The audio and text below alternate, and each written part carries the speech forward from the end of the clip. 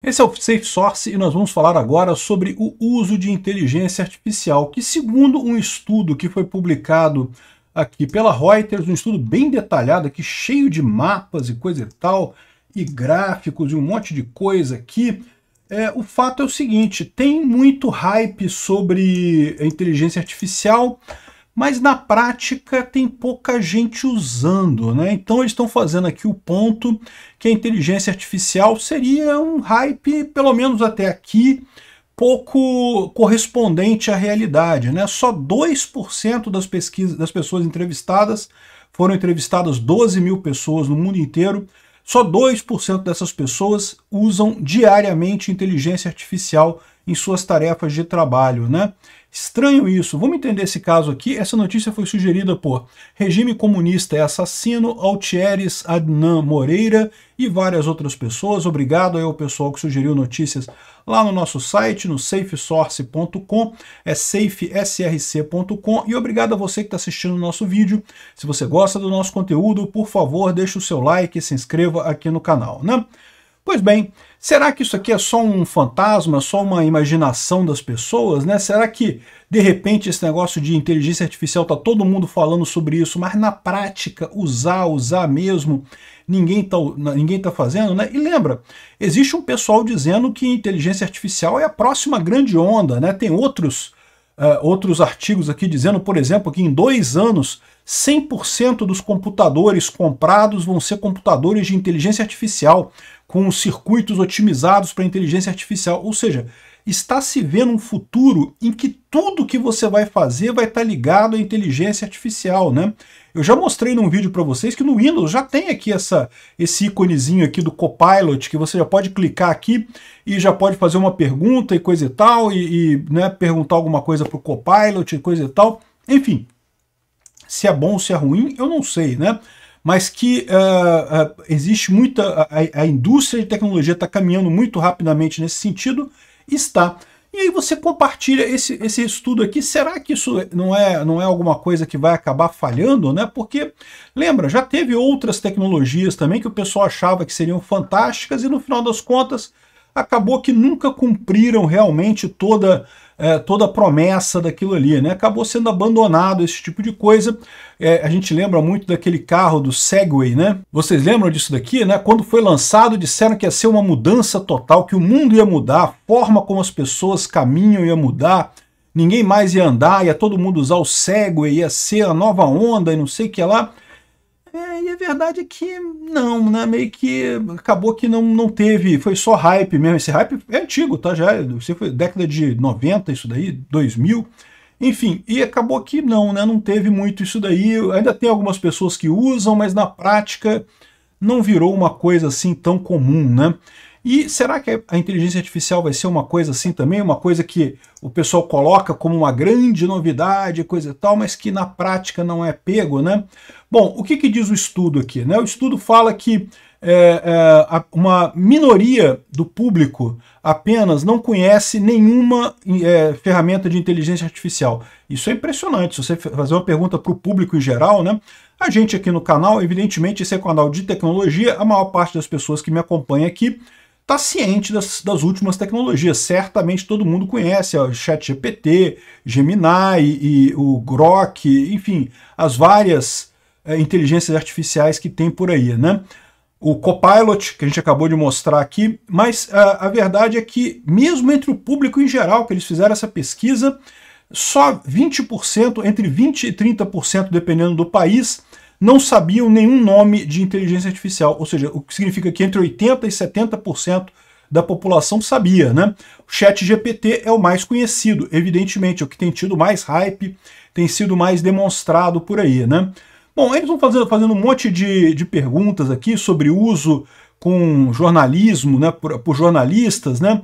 E aí, eles, é, é, esse estudo aqui foi feito pela Reuters, né? A Reuters é uma agência de notícia, né? Então, no final das contas, ela fala assim que a, a conclusão é que as pessoas se sentem mais confortáveis com notícias produzidas por humanos do que com notícias produzidas por inteligência artificial. Eu não sei não, tá? Isso me parece meio tendencioso esse relatório aqui no final das contas, porque é lógico que a Reuters, como uma equipe de reportagem, ia querer muito que fosse verdade isso, né? Ou não sei, de repente eles estão planejando realmente usar a inteligência artificial para a maior parte das coisas por lá e demitir os jornalistas todos, né? Mas a verdade é a seguinte: mesmo que você considere essas coisas, o fato é, a gente ainda está muito no início da curva da inteligência artificial, né? Então é o que eu falo para vocês, a gente está aqui no. Tem, tem, o famoso é, adoption gap, né? Ou seja, sempre que tem uma tecnologia nova, você tem esse adoption gap aqui que é, você começa primeiro os investidores usando aquilo ali, o pessoal da OpenAI usando o chat GPT e coisa e tal. Aí tem os early adopters, que são as pessoas que primeiro começam a usar a tecnologia, o pessoal entusiasmado com tecnologia. Eu sou um deles, né? Já tenho assinatura já do Chat GPT, uso bastante, não uso todo dia, não estou nesses 2% que usa todo dia não, mas uso bastante isso daí.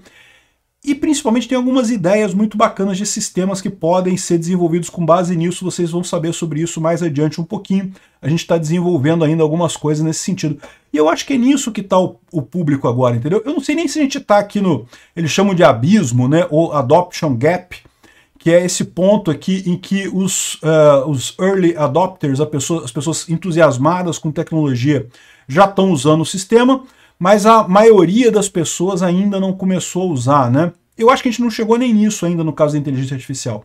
É que está no começo da história ainda, as pessoas ainda estão começando a levantar casos de uso da inteligência artificial. É óbvio, os primeiros casos de uso são alunos querendo fazer é, trabalho escolar sem, de, sem ter trabalho, né?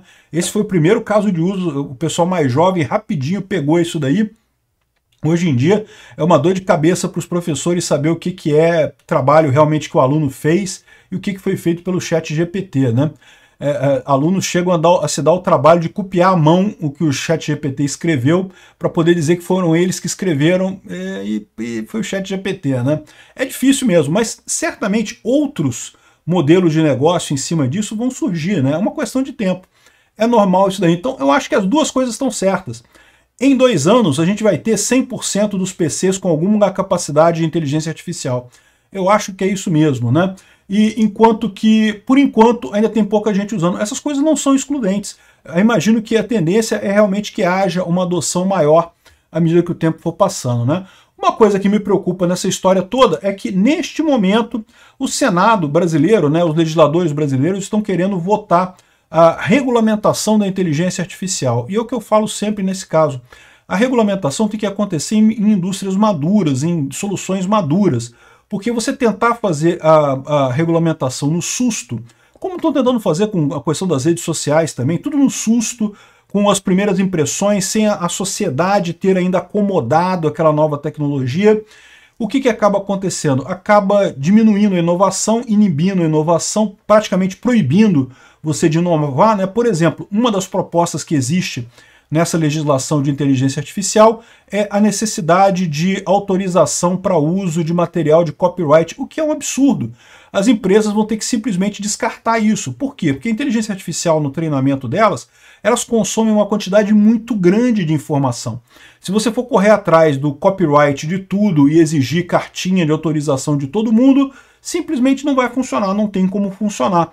Então isso vai ser é uma coisa inócua, né? E que vai certamente inibir pesquisas a partir daqui. Nós aqui no Brasil, que já estamos atrasados nessa área, vamos ficar mais atrasados ainda, porque a legislação aqui vai ficar pior ainda. E o resto do mundo vai avançar sem essa limitação e vai engolir o Brasil rapidinho. É, sobre regulamentar é ruim, regulamentar qualquer tecnologia cedo demais é ruim, tem que deixar a tecnologia ficar madura. Ah, mas aí tem o risco porque o pessoal vai fazer não sei o que lá e vai fazer não sei o que lá. É, vai fazer não sei o que lá e vai fazer não sei o que lá também. E isso é natural em toda nova tecnologia. E querer regulamentar não vai resolver isso, sabe por quê?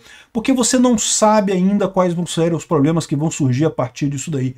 O pessoal hoje em dia imagina que seriam alguns problemas, mas você não sabe. A verdade é que a inteligência artificial, como diz o estudo aqui, ainda não é muito usada os grandes casos de uso, as grandes formas de usar isso daí ainda estão pela frente.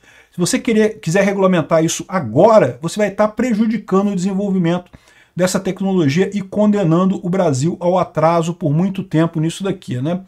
Enfim, vamos ver o que vai acontecer. A minha expectativa só é que uh, o Congresso brasileiro é tão burro, o governo brasileiro de forma geral é uma cambada de idiota, que o mais provável é que a lei que eles vão aprovar vai ser totalmente inútil e não vai fazer diferença nenhuma. Tomara que seja isso. É o melhor que a gente pode esperar desse pessoal. Se chegou até aqui e gostou do conteúdo, clique no like e se inscreva no canal. Isso me ajuda a ganhar relevância no YouTube e levar o tema da segurança no desenvolvimento de software a mais pessoas. Obrigado. Considere também clicar no sininho e pedir para ser notificado dos novos vídeos. Caso queira sugerir uma notícia para falarmos aqui, é só ir no nosso site https safesource.com, safesrc.com e clicar em sugerir uma pauta, colocar o link da notícia ali. Agradeço a todos que nos ajudam a fazer esse programa.